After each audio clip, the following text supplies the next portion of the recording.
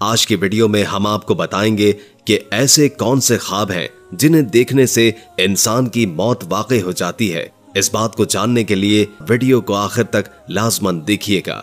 नाजरीन ग्रामी खाल के कायनात, अल्लाह रब्बुल इज़्ज़त ने हर जानदार के लिए मौत का वक्त और जगह मुतयन कर दी है और मौत एक ऐसी शय का नाम है कि दुनिया का कोई भी शख्स ख्वा काफिर हो या फाजिर, मौत को यकीनी मानता है। और अगर कोई मौत पर शक व शुभा करे तो उसे बेवकूफों की फहरिस्त में शामिल कर दिया जाता है। वैसे तो मौत एक ऐसी हकीकत है, जो किसी भी वक्त गालिब आ सकती है, और किसी भी लम्हे हंसता बसता इंसान मौत की आगोश में सो सकता है। लेकिन अगर हम इस्लामी तारीख का जायजा लें तो हमें ऐसे बहुत से वाकयात मिलते हैं, जिसमें मरने वालों को अपनी मौत से 40 दिन पहले एक ख्वाब आता है, फिर वो वफात पाते हैं। आज की वीडियो में हम जानने की कोशिश करेंगे कि मौत से पहले आने वाला ख्वाब कौन सा होता है। और जब हज़रत अली करमुल्ला वजुल करीम की खिदमत में ऐसा मामला लाया गया तो आपने क्या फरमाया? दोस्तों, एक दिन हज़रत अली करमुल्ला वजुल करीम की खिदमत में एक शख्स आया और इंतहाई अदब से अर्ज़ करने लगा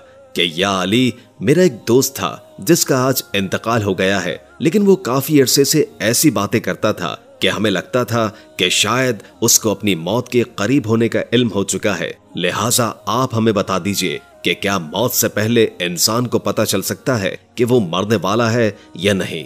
उस शख्स के सवाल पर हज़रत अली करमुल्ला वजुल करीम ने फरमाया, ऐ शख्स, याद रखना, अल्लाह ने आलम मलकूत, आलम बया और आलम अरवाह के बीच हर इंसान के लिए माया कल रवा रखा है। जो उसे आने वाली मुसीबतों, परेशानियों और बुरे वक्त के बारे में आगाह कर देता है। आप फरमाते हैं, बेशक अल्लाह अपने बंदों से प्यार करता है और आखिरी वक्त तक अपने बंदे की तौबा का मुंतजर रहता है। लेकिन इंसान मौत को ज़िंदगी के खत्म होने का नाम समझते हैं। लेकिन असल में मौत इंसान को एक दूसरी ज़िंदगी की तरफ़ ले जाने का नाम है।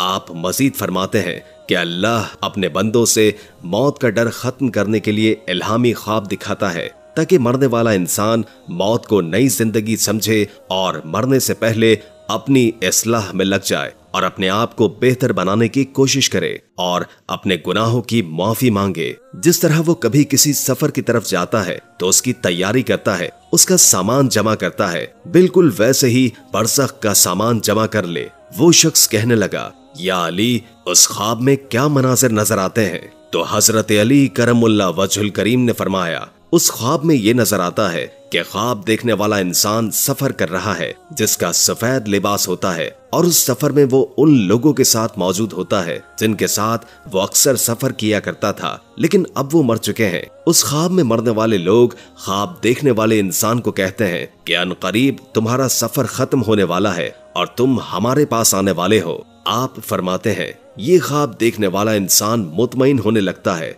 और फिर उसे मौत से डर नहीं लगता। वो शख्स फिर हज़रत अली करमुल्ला वजुल करीम से कहने लगा कि, या अली, अगर कोई शख्स ऐसा ख्वाब देखे तो उसे कैसे मालूम होगा कि ये इल्हामी ख्वाब था या फिर शैतानी? तो मौला अली करमुल्ला वजुल करीम ने फरमाया कि, जब भी तुम इस किस्म का ख्वाब देखो और ख्वाब देखने के बाद तुम डरने लगो और परेशान होने लगो।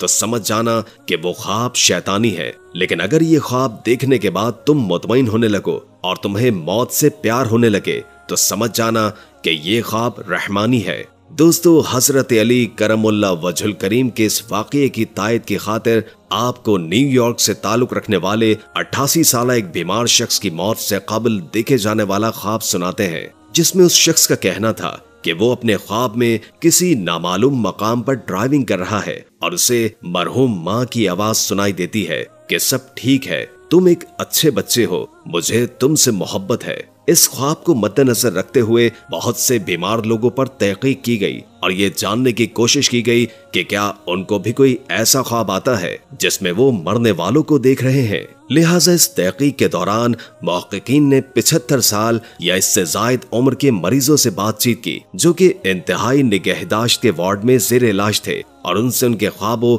या तस्वुरात के बारे में मालूम किया। इस तहकीक के नतज से मालूम हुआ कि अट्ठासी फ़ीसद मरीजों ने कम अज कम एक ख्वाब का ज़िक्र किया है, जिसमें वो मौत की जाने बढ़ रहे थे या खुद को मरा हुआ देख रहे थे। जबकि मौकिन ने बताया कि बेशतर अफराद को ऐसे ख्वाबों या खुली आँखों से तस्वुर में मरहूम रिश्तेदार या दोस्त नज़र आते हैं। और कई बार ज़िंदा अफराद भी उनके साथ होते हैं। उनके बकौल मरहूम अफराद को देखना जहनी तौर पर ज़्यादा इतमान बख्श होता है। और खास तौर पर मौत का वक्त करीब आने पर उन मरहूम प्यारों का नज़र आना बहुत ज़्यादा हो जाता है, जो लोगों को जहनी तौर पर आखिरी वक्त के लिए तैयार करने में मदद देता है। दोस्तों इसके अलावा नेक्स्ट एवेन्यू में शामिल होने वाली एक रिपोर्ट के मुताबिक, मौत से कबल निशानियाँ मालूम करने के लिए एक तजर्बा केयर इंस्टीट्यूट की टीम ने किया, जिससे ये बात मंजर आम पर आई। कि मौत से कबल आम तौर पर, ड्रामाई तौर पर मौत का शिकार होने वाले शख्स को मरहूम रिश्तेदार या प्यारे नज़र आना शुरू हो जाते हैं। उस टीम के सरबराह का कहना है कि ये हैरान कुन है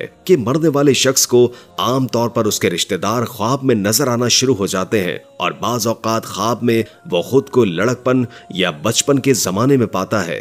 एक अमरीकी अस्पताल में दाखिल जानी नामी खातून के इस हवाले से तजिया किया तो मालूम हुआ कि मौत से कबल उसको वाज ख्वाब नज़र आया था, जिसमें वो अपने बिस्तर पर लेटी हुई है और कतार में एक तरफ़ उसके कुछ नामालूम अफराद उसके हाथ और बाजुओं को छुए जा रहे थे, जबकि सीधे हाथ की कतार में उसके वो तमाम प्यारे लोग हैं, जिनकी बहुत पहले मौत वाक़ हो चुकी है। जैनी ने अपने एहसास शेयर करते हुए बताया कि ये अच्छा ख्वाब था। अपनी मरहूम माँ को ख्वाब में देखना एक खुशकुन और हैरत अंगेज तजर्बा था। इसी तरह प्रोफेसर केयर ने एक डैनी नामी खातून की कहानी बताते हुए बताया कि मरने से काबिल वो किसी शीरख्वार बच्चे का हाथ पकड़ी हुई थी और उसके इर्द गिर्द मौजूद बच्चे ये जान नहीं पा रहे थे कि ये किस बच्चे का तस्करा कर रही है। लेकिन बाद में डैनी की बहन ने बताया कि ये उसकी सबसे पहली मरहूम औलाद थी और इसके बच्चे इस हवाले से लाइल्म थे। दोस्तों, अब आप इन दोनों वाकयात को आपस में मिलाकर देखें तो इन दोनों में तकरीबन एक ही बात कही गई है, लेकिन फ़र्क सिर्फ़ इतना है कि इस्लाम ने आज से 1400 साल पहले ये सब कुछ बता दिया था, और जदीद साइंस भी आज इस्लाम की हकीकत मानने पर मजबूर है। आपको बताते चले कि मरते हुए इंसान को सिर्फ़ रिश्तेदार ही नहीं, बल्कि उसको वो फरिश्ते भी नज़र आते हैं, जो उसकी रूह कब्ज करने आते हैं। जैसे कि नबी पाक का फरमान है कि मर्द मोमिन की मौत का वक्त जब आता है तो मोमिन की रूह मलाइका के जुलूस के साथ जाती है। मलिकुल मौत की क्यादत में पाँच सौ फरिश्ते का वक्त जुलूस लेकर मोमिन के यहाँ आता है और मोमिन मर्द को सलाम करता है और कहता है कि अल्लाह पाक ने आपको सलाम भेजा है। हदीस में है कि मोमिन की रूह को फिर आसमानों पर ले जाया जाता है, जहाँ तमाम फरिश्ते अल्लाह के सामने सजदा रेस होते हैं और फिर उसकी रूह को भी सजदा कराते हैं। अहदीस में ये भी आता है कि साहबी रसूल हज़रत अबू सलमा रज़ी अल्लाह तहो का आखिरी वक्त जब आया तो रसूल करीम सल्लल्लाहु अलैहि वसल्लम उनकी अयादत के लिए तशरीफ़ लाए तो वो उस वक्त नजा के आलम में थे। घर में अफसरदगी का माहौल था। और घर के गोशे में खातन रो रही थीं। इस मौके पर आप सल्लल्लाहु अलैहि वसल्लम ने फरमाया कि मैयत की जान निकल रही होती है तो उसकी निगाहें परवास करने वाली रूह का पीछा करती हैं। तुम देखते नहीं कि आदमी जब मर जाता है तो उसकी आँखें खुली रह जाती हैं जब हज़रत अबू सलमा रज़ी अल्लाह तहो का दम निकल गया तो आपने अपने दस्ते मुबारक से उनकी आँखें बंद कर दी दोस्तों, इन तमाम वाकयात और दूसरी बातों से ये साबित होता है कि इंसान को न सिर्फ़ मौत से पहले ख्वाब आता है, बल्कि उसे फरिश्ते भी नज़र आते हैं। हमारी अल्लाह से दुआ है कि अल्लाह हमें मौत के वक्त कलमा पढ़ने की तौफीक अता फरमाए। आमीन। हम उम्मीद करते हैं कि आपको हमारी आज की वीडियो ज़रूर पसंद आई होगी। अगर आपको हमारी आज की वीडियो पसंद आई है तो आपसे गुजारिश है कि आप हमारे चैनल को सब्सक्राइब करें और साथ ही बेल के बटन को प्रेस करें, ताकि आपके पास हमारी नई आने वाली मजीद मालूमती वीडियोस का नोटिफिकेशन बर वक्त मिलता रहे। सब्सक्राइब के साथ साथ हमारी वीडियो को लाइक करें और अपनी कीमती आरा का इजहार कमेंट सेक्शन में करें। हम फिर हाजिर होंगे एक नए टॉपिक के साथ। अल्लाह हम सब का हामी नासिर हो। आमीन।